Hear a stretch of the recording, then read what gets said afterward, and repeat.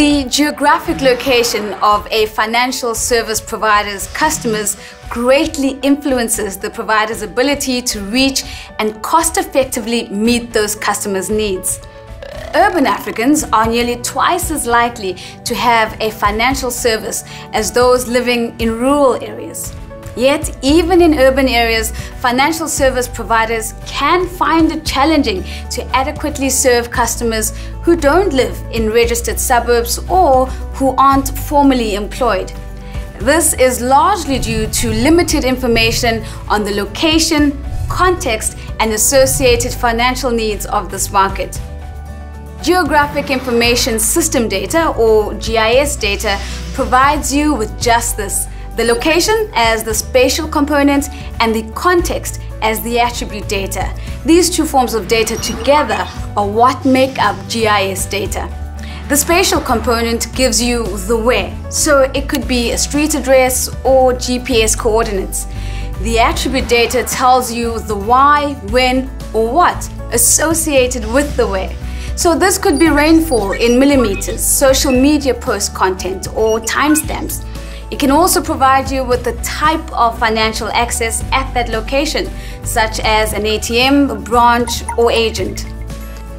Alternative data sources increasingly provide us with greater insights into the location and context of the population.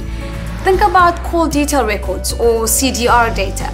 The coordinates of where the caller used their phone from is the spatial data. The timestamp, who they called, and the length of the conversation are examples of the attribute data. The combination of these two data components is what makes GIS data so powerful for revealing insights that allow you to viably serve a larger customer base. But how and where can you use GIS data to help your business? Let's take a look at some examples. You can use GIS data for agent network management. CDR data can be used to identify when and where customers aggregate. The spatial component of call detail records can be derived from which cell tower the users are connected to, and the timestamps on the records reveal when they were at those locations. Mobile money data, specifically the transaction values and volumes, can then be overlaid to see which of these aggregation points have heightened economic activity. These insights can be used to identify where to offer agent services.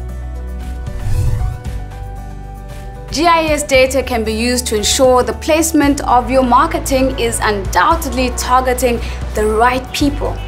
GIS data derived from CDR data, smartphone apps or mass transportation ticketing systems capture the locations and timestamps of existing and potential consumers.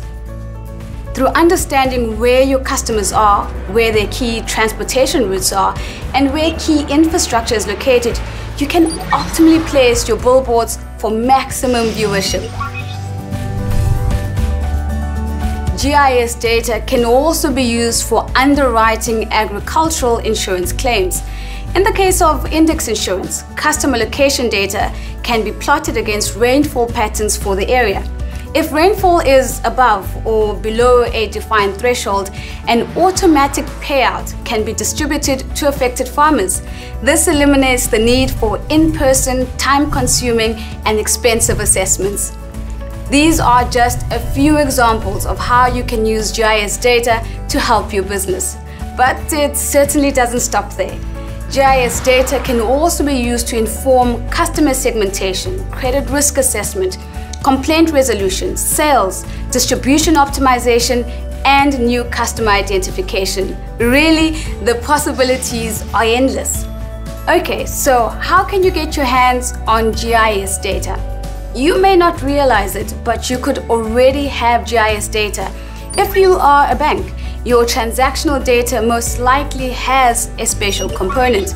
If you are a mobile network operator, you could use your CDR data. Otherwise, take a look at websites like Natural Earth Data, FSP Maps, QGIS, or Esri Open Data. They're all useful open source GIS tools. A quick Google search will reveal many more open source GIS options available to you. There are also numerous commercial providers of GIS data which can easily be found online. There is no doubt, GIS data is a powerful information source that can help you identify and better serve your largest potential customer base, Africa's financially excluded. The question is, how are you going to use GIS data in your business in the future? Visit i2ifacility.org to find out more on the application of GIS data in the financial sector.